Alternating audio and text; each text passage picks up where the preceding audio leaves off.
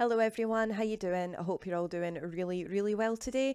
I'm Lindsay, your host of the Heavy Metal Journal and writer for Lambgoat and the Moshville Times, and I'm back with New Metal Monday where I talk about my favourite new releases of the week.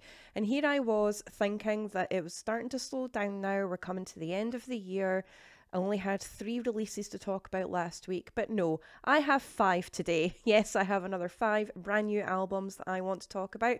But before I begin, as always, check out the description box below where you will find a Spotify playlist link, which will feature every single album that I talk about on my New Metal Monday videos. So if you do use Spotify, make sure to follow that link because I do update that playlist every single Monday as soon as these videos go live. But if you don't use Spotify, don't worry because I will also be including the band's Bandcamp links or their YouTube channels below just so you can find the music that I'm talking about as easily as possible. But like I said, I have five brand new albums that I want to talk about, so let's get on with it. Okay, so the very first album I want to talk about is Molder with Catastrophic Reconfiguration. And this is the third studio album from the US old school death metal band. Now, if you want a full in depth review which breaks down the entire album track by track in a lot more detail, I did write one for Moshville Times, which I will include in the description box below.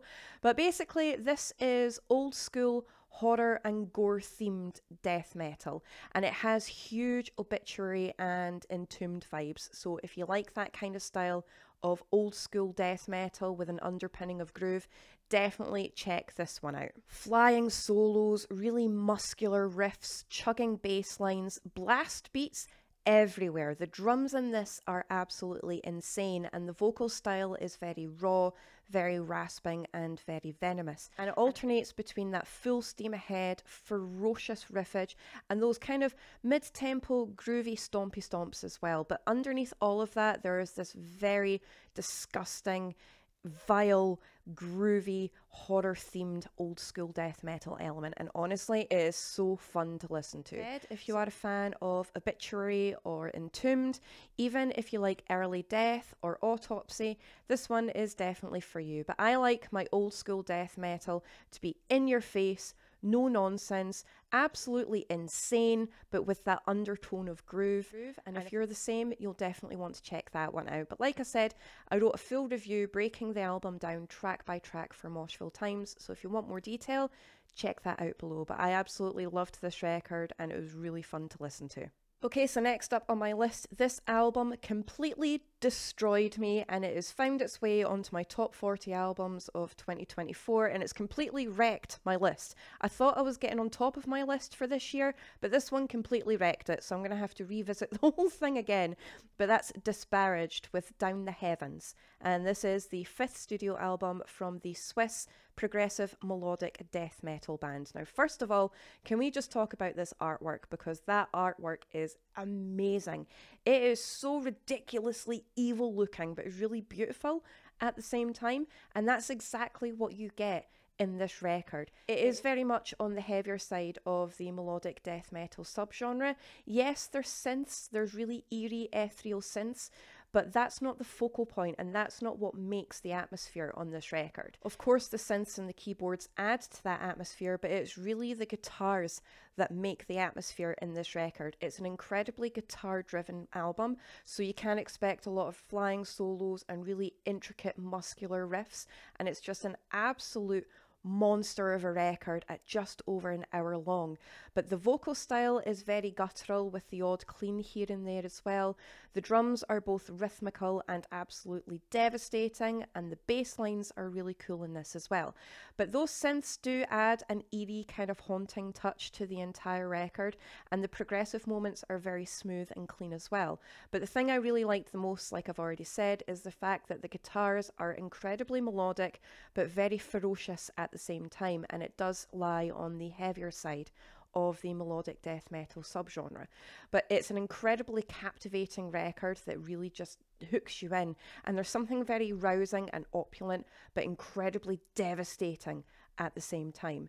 So if you are a fan of last year's Sulphur Aeon, or if you are a fan of this ending, early in flames or a little bit of at the gates this one is definitely for you but this album completely destroyed me and I cannot get enough of it. It is evil, it's ominous, it's ridiculously heavy, but it's really addictive and melodic at the same time.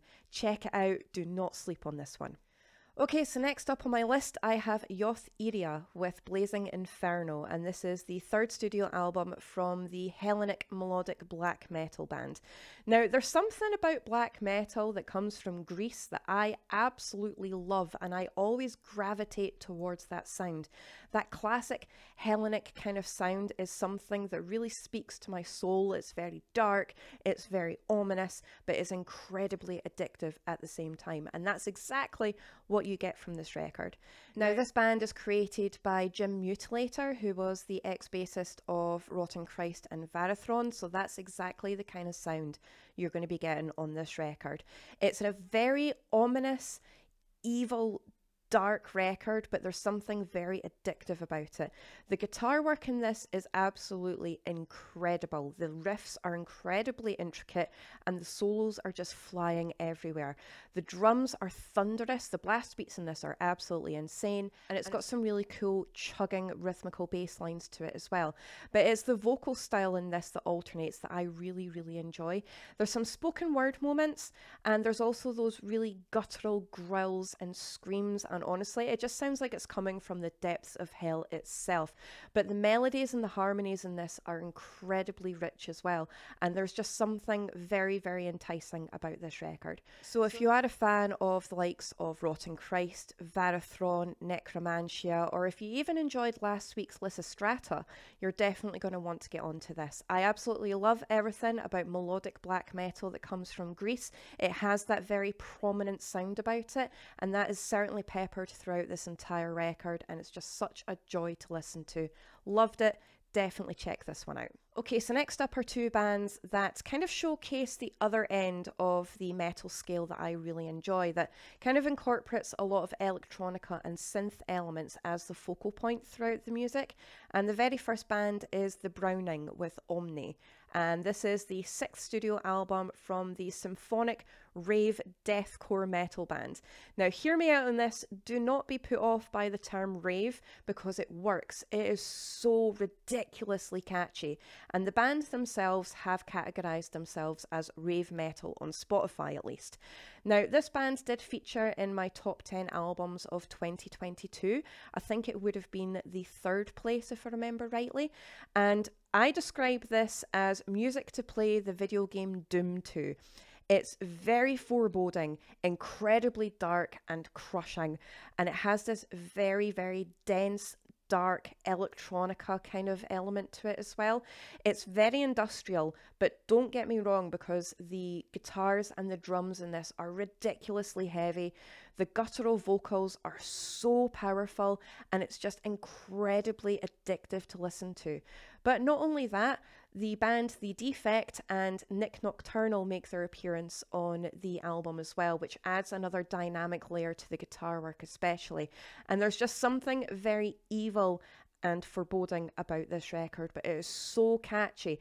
It has ridiculous breakdowns. This is a proper face melter of a record, and it goes between that really fast paced, furious, in your face, dense, heavy death metal, deathcore, but it also has a lot of those really cool intertwined electronica industrial moments throughout it as well. Not to mention the groove laden stompy stomps as well. We all know that I love those mid tempo stomps that get you moving. This has everything. Give it a chance. It is incredibly addictive, very rich, but incredibly heavy at the same time. So, if you are a fan of the likes of Fit for a King, 1056, Combichrist, or Born of Osiris, you're definitely going to want to get onto this. But I highly recommend this band. This band go under the radar way too much for my liking, and I absolutely adore them. They need more love.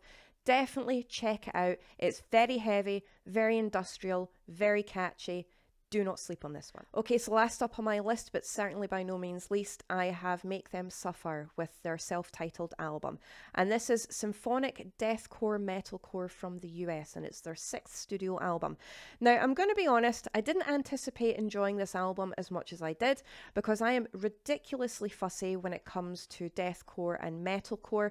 Usually it has all of the elements that I enjoy in metal, but normally I kind of get put off by it. I'm not entirely sure what it is because because it normally doesn't catch my attention all that well. This one, however, is incredibly multi layered and dynamic, and it really did hook my attention, and it continues to do so.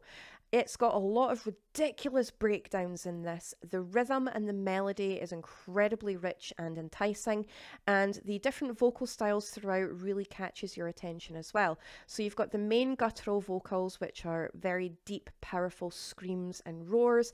You've also got the occasional fry scream and the occasional clean, but you've also got the clean vocals from their new keyboardist Alex Reid, and she is incredibly talented. So her vocal style is very very soft, very ethereal. But then you've also got her screams in the background as well, which just adds that extra layer of heaviness.